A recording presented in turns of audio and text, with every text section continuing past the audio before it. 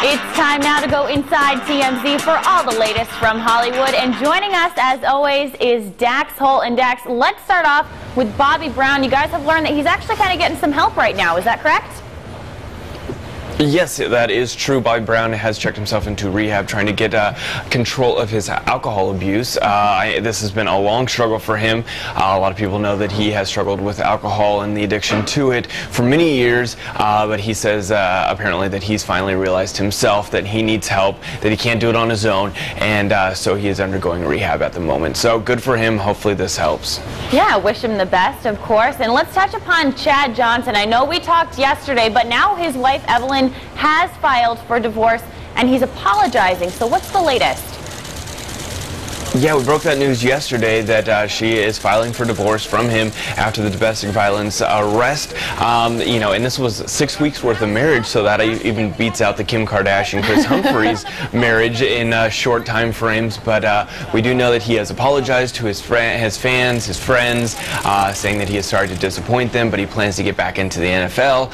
Um, I'm just not sure what team would take him at this point. I mean, the Dolphins, that was kind of a last-ditch effort uh, on their part, and they fired him via VH1 doesn't want his reality show, and clearly his wife doesn't want him either. So uh, uh, it's not looking so good for him. Definitely not. And you just mentioned them, Kim and Kris. They are due in court today to try and move forward with their divorce as well. Is that right?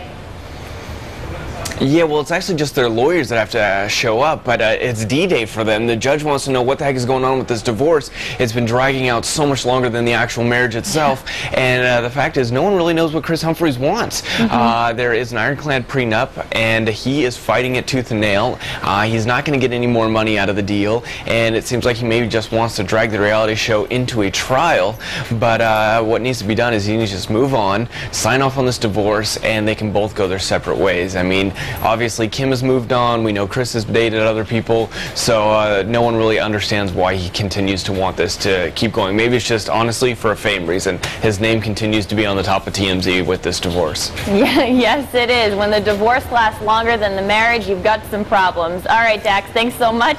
You can catch TMZ TV on our sister station, Fox Providence, at 7 p.m. Or for more information on any of the stories you heard, head to our website, WPRI.com.